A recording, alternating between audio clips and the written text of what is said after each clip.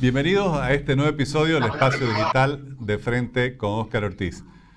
La inflación vuelve a ser un tema de debate a nivel internacional e incluso las economías eh, más desarrolladas, más importantes, la están experimentando. Conversaremos sobre ello con el doctor Juan Antonio Morales, quien es uno de los principales eh, referentes de la ciencia económica en Bolivia. El doctor Morales eh, obtuvo su doctorado en ciencia económica en la Universidad Católica de Lovaina, ha sido presidente del Banco Central de Bolivia, es miembro de la Academia Boliviana de Ciencias Económicas, profesor de la Universidad Católica Boliviana, autor de ocho libros sobre economía, numerosos artículos en revistas científicas y columnas de opinión en importantes diarios de nuestro país. Muchas gracias, doctor Morales, por aceptar nuestra invitación.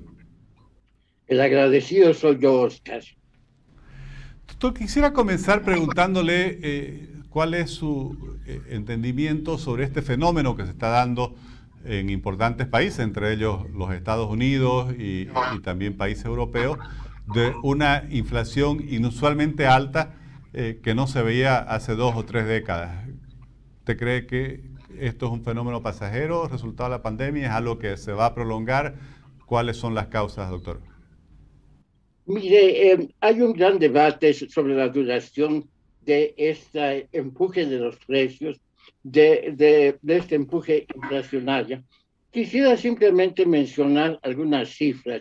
La inflación en los Estados Unidos eh, ha sido el año 2021 de 7%, lo que es una inflación sumamente elevada para los estándares americanos. Pero en Europa también la inflación está, en un país tan averso a la inflación como Alemania, está en el orden de 4%. En la región las inflaciones son todavía mucho más altas. Bueno, en la Argentina es 45% o más. En el Brasil es casi 10%, entre 9 y 10%.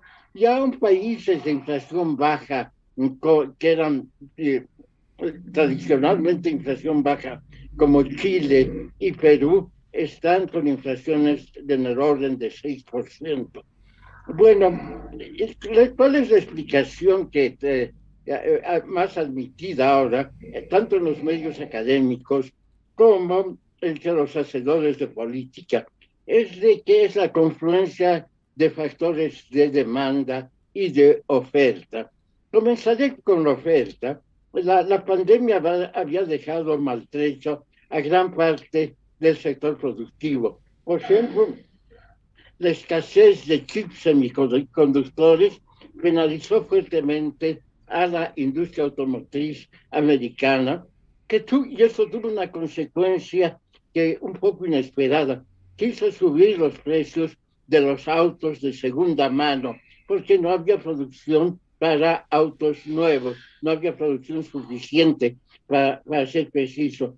Además, durante todo el año 2020 y parte del 2021 ha habido problemas de transporte, problemas de abastecimiento de materias primas, problemas de abastecimiento de insumos industriales, como les estaba diciendo, de los chips de eh, semiconductores, y aún escasez de mano de obra.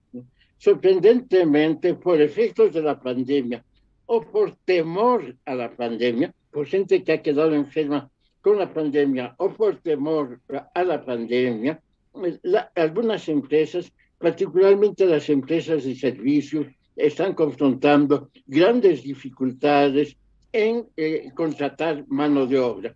Esto es el factor de oferta.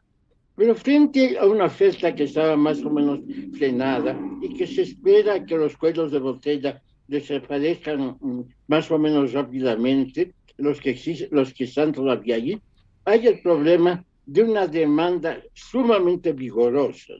La, la política fiscal americana ha sido muy expansiva, ha sido del orden del 15% del Producto Interno Bruto del año 2020, yo no sé cómo va a terminar el 2021, y también la política monetaria que ha sido muy expansiva. Eso ha dejado a muchos hogares con, eh, con, muchos ingresos que no los habían gastado el año 2020 por la propia pandemia, por el temor al contagio, por ejemplo, y no querían salir de sus casas. Y entonces ahora están gastándolos y esto está impulsando a la demanda y al consumo. Entonces, allí eh, este es un tema que yo creo que es eh, importante, es una, es una demanda agregada muy dinámica junto con una oferta que no ha estado reaccionando tan rápidamente como se deseaba. Entonces, eso está empujando los precios. Ahora, durante mucho tiempo, empujando los precios hacia arriba, durante mucho tiempo se había pensado que los problemas eran esencialmente de oferta y que estos serían transitorios, que los cuellos de botella que se habían creado durante la pandemia serían, mm, eh, eh, serían controlados eh, relativamente rápidamente, lo que no ha estado sucediendo en la magnitud que se hubiese querido. Ahora, la inflación de los países avanzados tiene repercusiones también en los países de economía emergente. Los, no, no, están aislados los países y eso explicaría en gran parte por qué además de los países de economía avanzada, los países emergentes también están sufriendo un, episodios de, de, inflación. En algunos países, eh, como es el caso de la Argentina, y allí toco el segundo punto que habíamos hablado, eh, Oscar, es que la Argentina está arrastrando la situación inflacionaria desde hace varios años desde el 2018 por lo menos. Em, y en gran parte se debe allí a una explicación muy clásica. Es la incontinencia fiscal, el hecho de que no llegan a controlar adecuadamente sus cuentas fiscales, la que en gran parte está detrás de la inflación. Porque la inflación depende mucho de las políticas fiscales y monetarias cuando son muy expansivas, pero también depende mucho de las expectativas del público. Si se desestabilizan las expectativas, como parece ser el caso de la Argentina, eso empuja mucho más a la inflación. Entonces, eh, todo parece indicar que, que, la Argentina tiene que hacer un esfuerzo muy grande para controlar su situación fiscal cosa que no es además nada fácil porque tiene una situación de deuda pues, extremadamente complicada.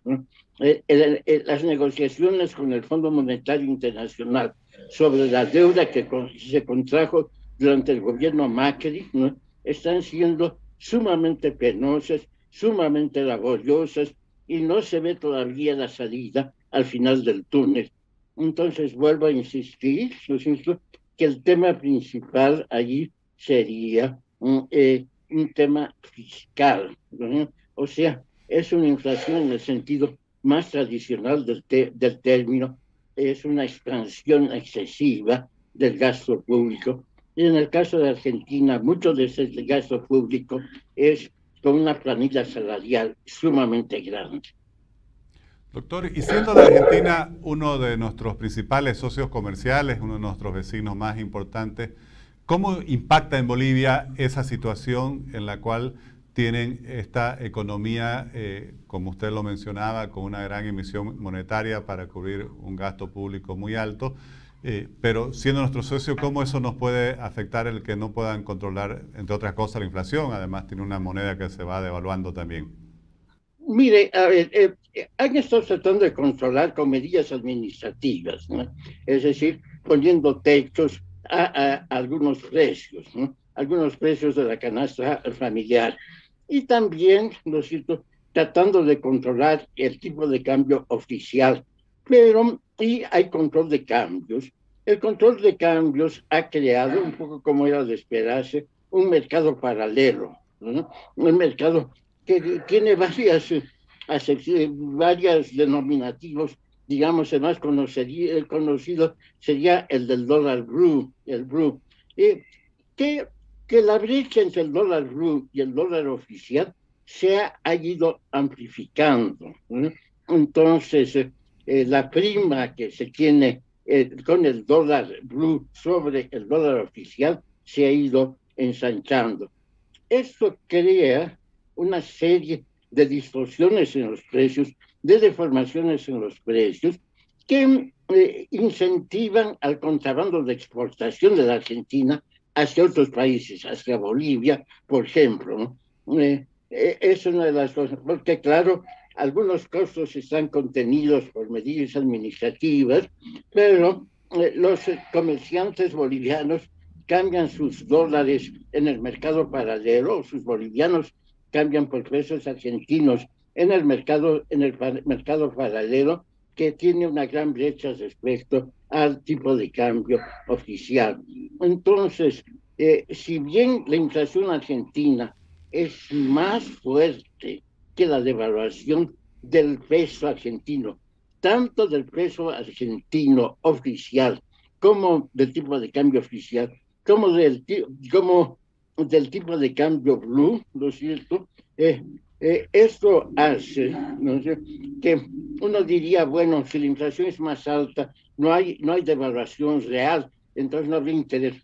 Pero en el caso de Argentina, la dificultad viene de las distorsiones de precios por los controles administrativos, a la vez que se sigue una política monetaria que sigue todavía siendo expansiva.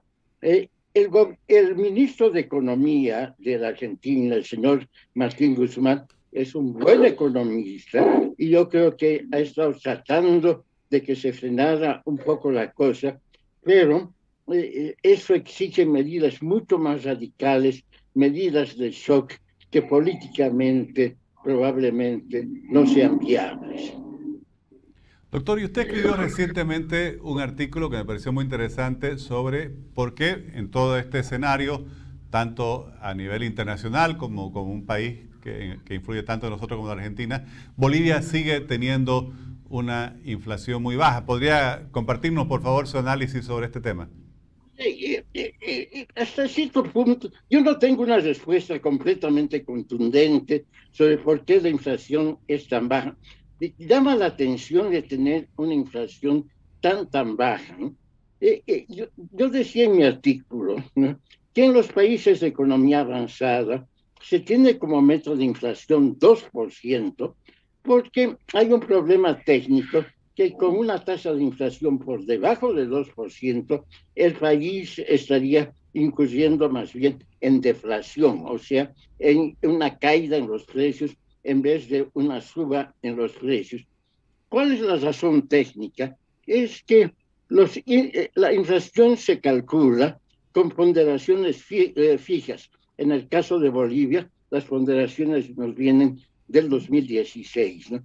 Pero si hay cambios en los precios, también cambian las cantidades demandadas y por tanto cambian las ponderaciones también.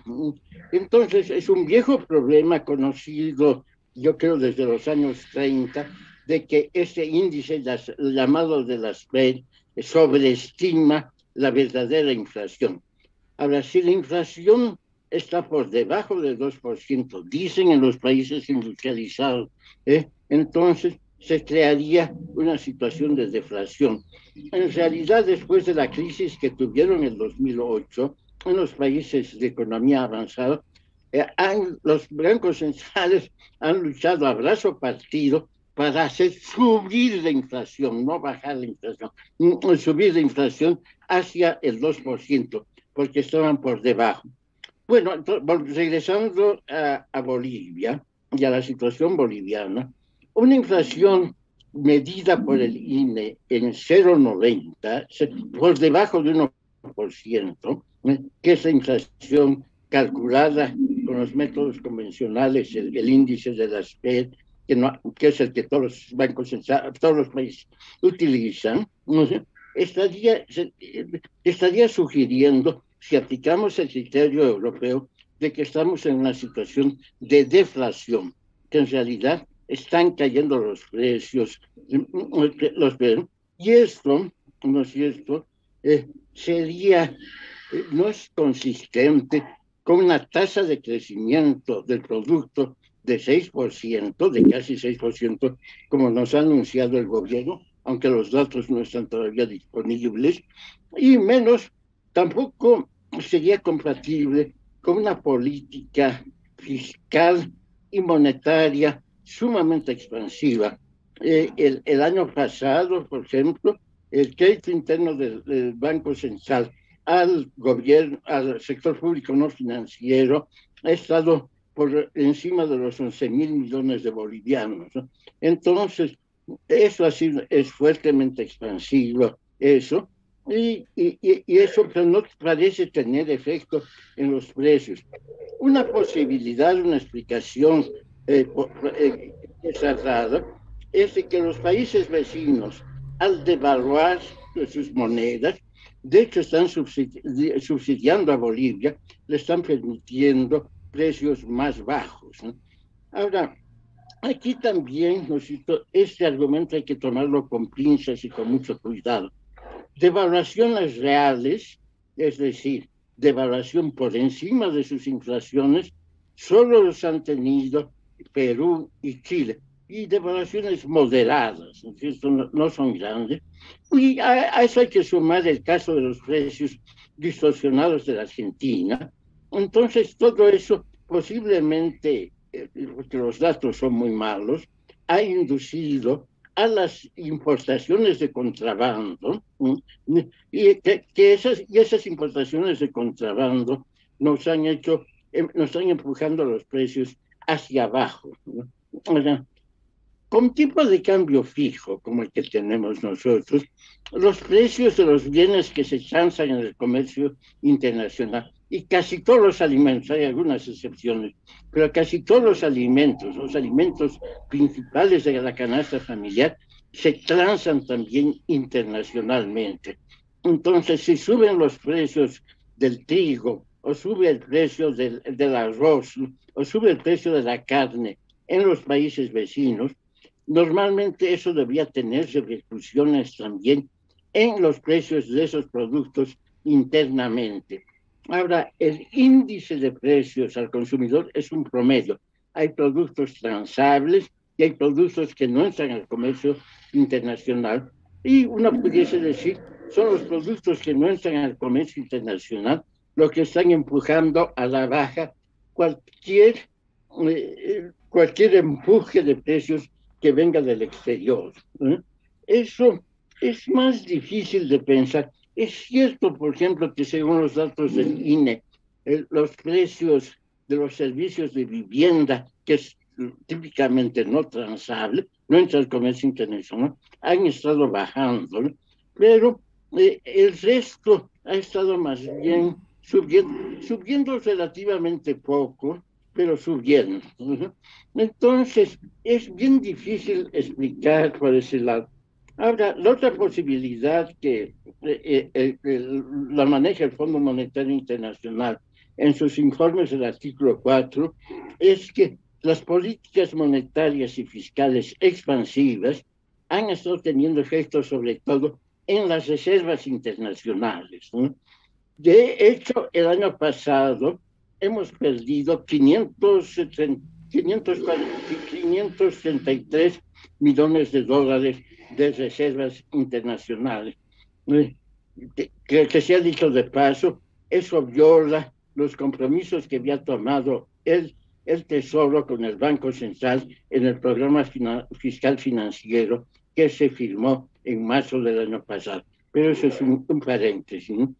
Pero eso también, lo cito, es muy posible que eh, la política, en vez de repercutir en precios, esté repercutiendo en cantidades, en cantidades quiere decir, esté repercutiendo en la caída de las reservas internacionales. Pero al mismo tiempo hay otro dato. Si Bolivia ha estado constituyendo superávits comerciales, por lo menos los datos de, esta, oficiales dicen que eh, Hemos tenido un superávit comercial importante el año 2021, es decir, nuestras exportaciones han sido mayores que nuestras importaciones, y esto, ¿no es cierto? La cuenta comercial es, una, es la cuenta más importante de la cuenta corriente de la balanza de pagos. Por supuesto que hay servicios como intereses, por ejemplo, que, que no son contabilizados en la cuenta comercial, pero la cuenta más importante es la de la balanza comercial. Entonces, es, si es, hemos tenido un superávit comercial, la pregunta es por qué hemos estado perdiendo todavía tantas reservas. ¿no? Eh, se ha perdido menos que el 2020, pero se ha perdido eh, una cantidad significativa del 2021. Se ha dicho de paso, la pérdida hubiese sido mucho mayor si no hubiese habido la asignación de derechos especiales de giro por el Fondo Monetario Internacional, que eso es algo así como 326 millones de dólares. Eh, entonces, pues, si uno excluye eso, la pérdida hubiese sido casi de 800 millones de dólares, lo que es importantísimo. Pero no vamos, pero los DEC sirven de reserva y están bien, ¿no? los derechos especiales de giro. Ahora bien, eh, entonces, lo único que explicar, bueno, tampoco se nota, claro que no hay datos todavía completamente disponibles, que haya habido una fuga de capital, que el problema no está en la cuenta corriente, sino que está en la cuenta capital de la balanza de pagos, en, en, una cuenta que siempre un poco misteriosa, que se llama errores y omisiones. Pero esos datos no están todavía disponibles.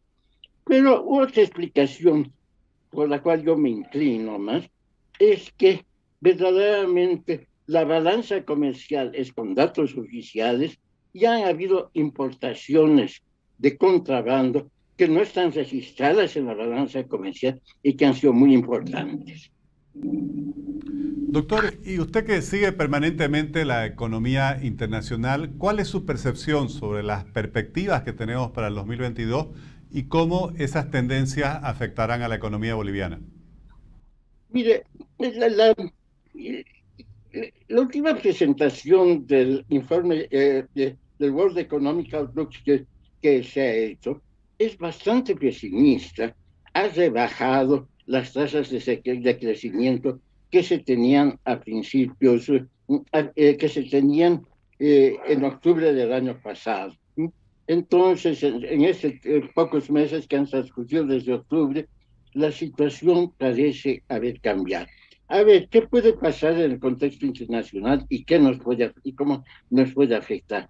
En el contexto internacional, todo el mundo piensa y está anticipando de que sus bancos centrales van a tomar medidas correctivas.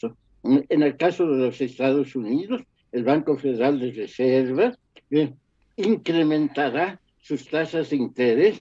La discusión ahora es, eh, no es que no va a incrementar, sino cuándo las va a incrementar, cuándo las va a aumentar, y si van a ser dos veces o tres veces es, eh, en el año.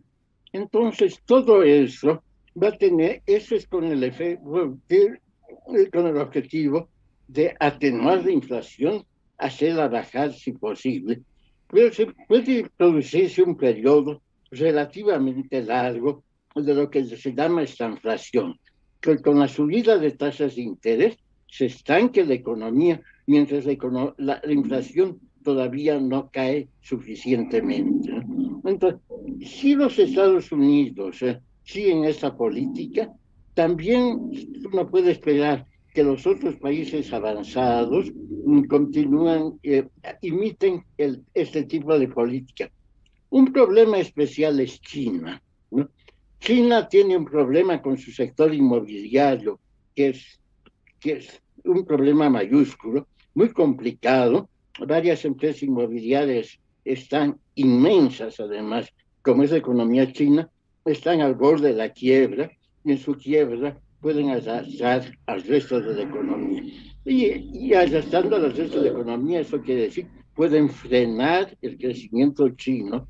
Entonces, una fuente de dinamismo que, importante de la economía mundial de los últimos de las últimas décadas ha sido la economía china. Y si eso se frena, eso va a frenar también la expansión económica de la mayor parte de los países del mundo. A eso ha venido a sumarse ¿no es cierto?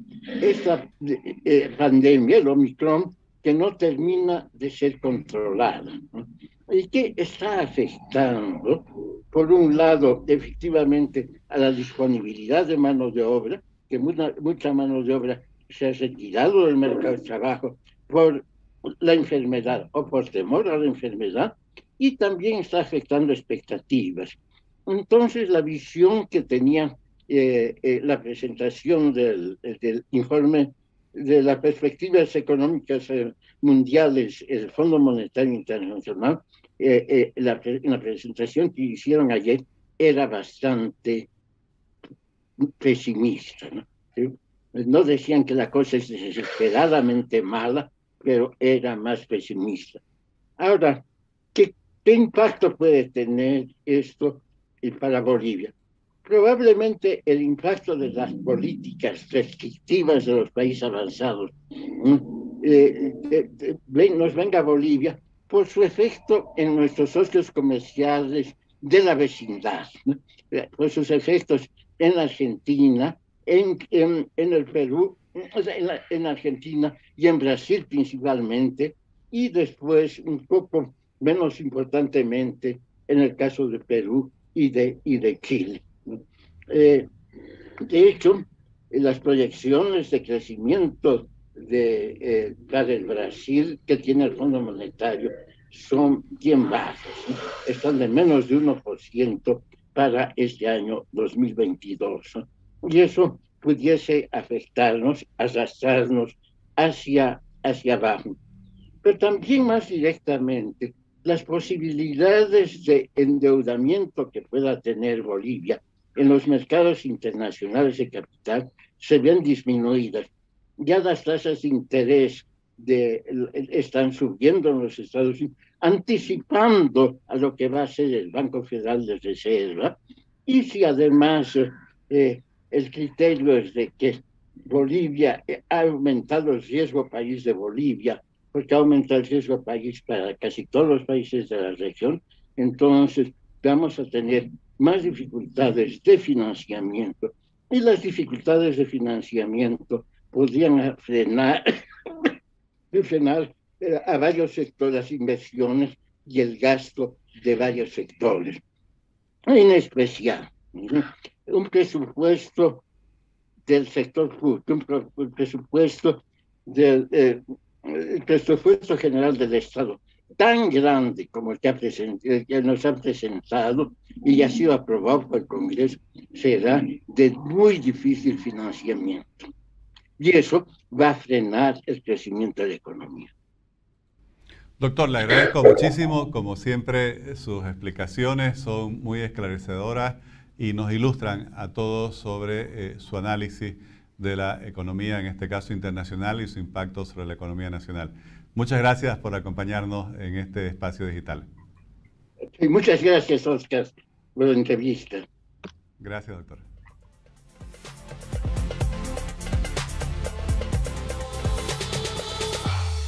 Aunque Bolivia tiene una integración internacional eh, limitada, no debemos perder de vista lo que está pasando a nivel internacional, incluso todo este debate sobre la inflación que no va a dejar de afectarnos, porque por ejemplo el costo de importar energía, que hoy en Bolivia, eh, especialmente en cuanto se refiere al diésel y la gasolina, es un componente de fuga de divisas muy importante, o el costo de insumos para nuestra industria, o de maquinarias y bienes de capital, o de vehículos, en fin, una serie de bienes que no producimos, eh, todos están, por un lado, subiendo de precio y por otro lado, siendo más escasos.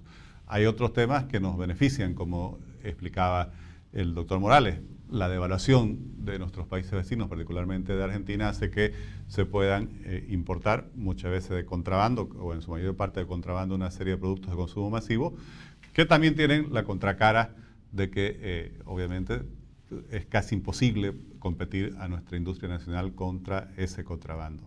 Creo que eh, aquí es un momento en que la política económica sea realmente cauta, sea prudente para poder moverse en un escenario en el cual, como todos los informes internacionales eh, señalan, se están revisando eh, a la baja las tendencias de crecimiento económico para el año 2022. Les agradezco por habernos acompañado en este nuevo episodio del Espacio Digital de Frente con Oscar Ortiz.